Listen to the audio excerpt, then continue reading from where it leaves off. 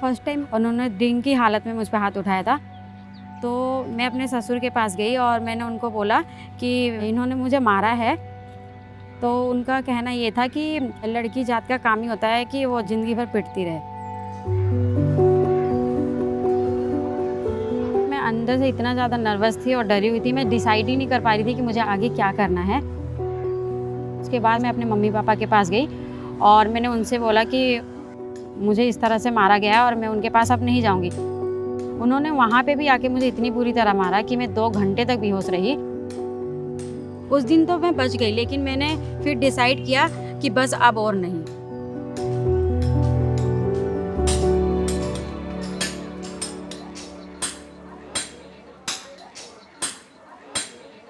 मेरी जो शादी हुई थी, धोखे से हुई थी, वो एजुकेटेड भी नहीं थे और कोई जॉब भी नहीं थी। और मेरे माइंड में ये चलता था कि क्या कभी मैं इन सारी चीज़ों से बाहर निकल पाऊँगी। हम लोग जिस माहौल और एरिया से आते हैं, वहाँ पे लोग ज़्यादा एजुकेटेड और पढ़े लिखे नहीं हैं और पुरुष प्रधान सोच वाले ज़्यादा लोग हैं। तो जो हम लोग कुछ करते भी हैं तो सारी चीज़ें ना हमारे अगेंस्ट होती हैं, जिसकी वजह से हमें काफ़ी प्रॉब्लम्स होती हैं।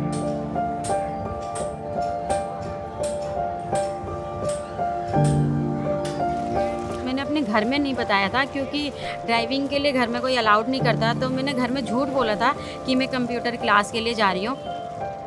जब मेरी फ़र्स्ट जॉब लगी थी और गाड़ी मैंने अपने घर के सामने लगाई थी, मेरी मम्मी खुशी के मारे रो पड़ी थी और मेरे पापा काफ़ी हैप्पी थे उस दिन।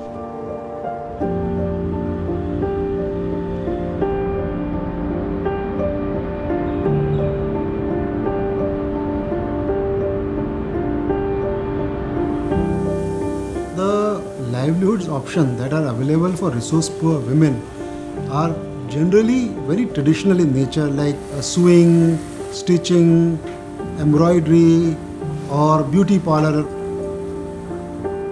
Non-traditional livelihood is something which challenges women to go out and work against the gender stereotype.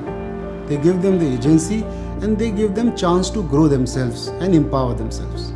But society in general, parents, they were skeptical what will happen to their safety, how women will be able to drive.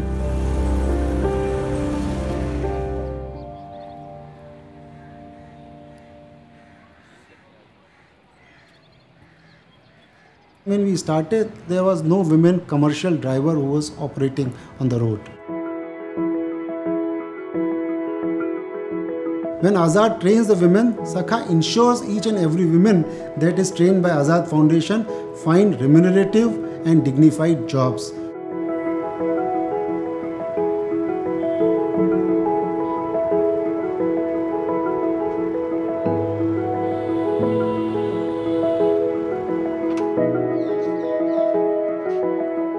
We believe just skill training is not enough.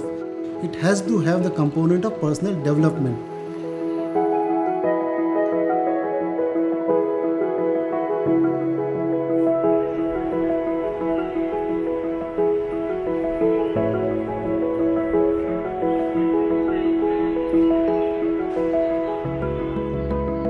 मेरी आज़ाद में training चल रही थी, उसी के दौरान मैं अपने शादी से कैसे बाहर निकलना है, ये भी तय कर रही थी।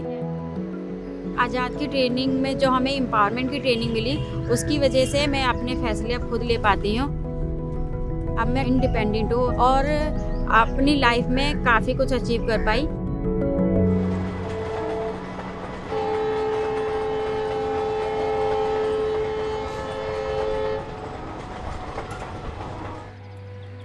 The lockdown has brought enormous challenges for women drivers and their livelihoods. Almost all women drivers are left without any work. Lockdown has also put a lot of people under misery, food insecurity. So, what we thought is that why don't we use the energy of these women drivers, the leadership of these women drivers, to involve them in relief operations? जब कुछ भी काम नहीं था और सब कुछ था तो आज़ाद ने एक स्कीम बनाई, राहत सामग्री बांटने की। सब कुछ हम ही ने किया, किसकी नौकरी छूट गई है, किसके पास आमदनी आ रही है, इन सब चीज़ों को हम ही ने ध्यान रखा और हमारे द्वारा एक लिस्ट बनाई गई और उन तक राहत सामग्री पहुंचाई गई। कभी कभी मैं ये सोचती हूँ कि अगर मैं आज़ाद से जुड़ी ना होती तो मैं इस बुरे दौर में कहाँ जाती, किससे मदद मांगती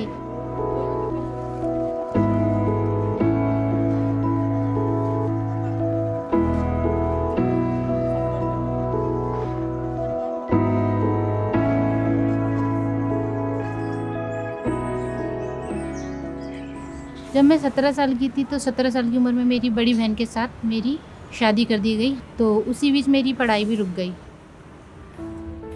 जब मैं वहाँ सिलाई सेंटर, सिलाई सीखने गई तो वहीं पर मेरे को आज़ाद के लोग मिले, जो आज़ाद का प्रचार कर रहे थे ड्राइविंग का।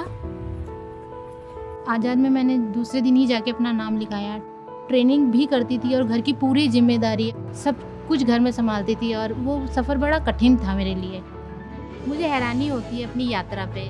उस गीता में, इस गीता में तो बहुत फ़र्क है। मैं कहाँ बोलती नहीं थी, घर में रहती थी, घूंघट पल्ले में रहने वाली गीता और आज की गीता, जो समाज सेवा में भी जुड़ गई है।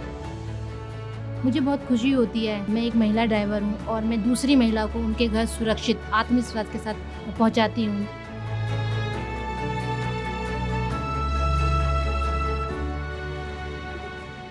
जहाँ एक तरफ़ लोगों की जॉब्स जा रही थी वहीं आज़ाद ने आज़ाद की महिलाओं का काफ़ी साथ दिया और हमारी जॉब बरकरार रही और हम अपने घर में आर्थिक रूप से सपोर्ट कर पाए।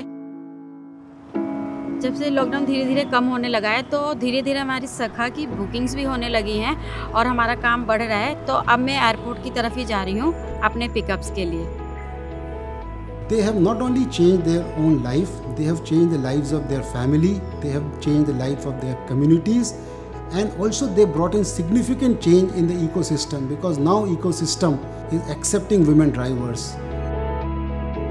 पहले इतनी खुश नहीं थी जब से मैं ड्राइवर बनी हूँ तब से मैं बहुत खुश हूँ। जब से मैं आज़ाद से जुड़ी हूँ मैंने लोगों को ना फेस करना सीखा है। जब से मैं आज़ाद से जुड़ी हूँ मैं अपनी फैमिली को सपोर्ट कर रही हूँ। जब से मैं आज़ाद में जुड़ी हूँ मेरा आत्मसम्मान बहुत बढ़ गया है और अब मैं हूँ आज़ाद।